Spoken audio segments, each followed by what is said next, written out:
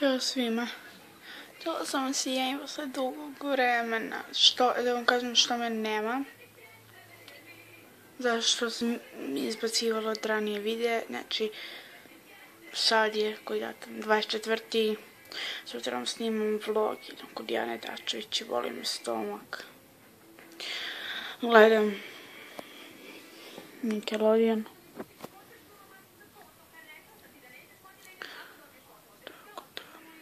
Samo sam to htjela da se javim.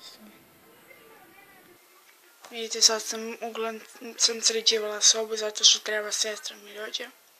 Sad ćemo i ona malo si igramo. Pa ćemo onda posle da pravimo lokne za sutra. Uh, pa sutra onda idem na trening. Ne, nemam sutra trening, ne znam, ne pitat ću sa trenera. I onda sutra idem. Kod Nedočića, nedelju mi je pun dan, imam trening, idemo kod drugarice da snimamo challenge, obećavam. Tako da, eto, pozdrav za Anastasiju. Tašu. Tako da, ljubim te puno i vidimo se u nedelju.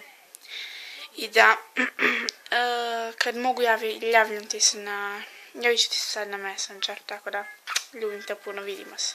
Ćao svima i tako da ljubim te na sasje i ćao svima, vidimo se sljedećem videu. Ćao!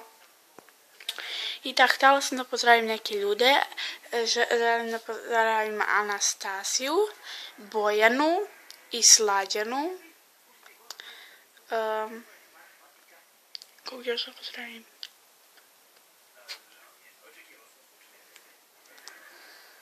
I obavezno pogledajte kanal PC, PC Srbija, pogledajte uh, kanal Dora ZT za, YouTube i um, pogledajte Animals 01, pogledajte ko još. I ostale youtuberke glavne znate.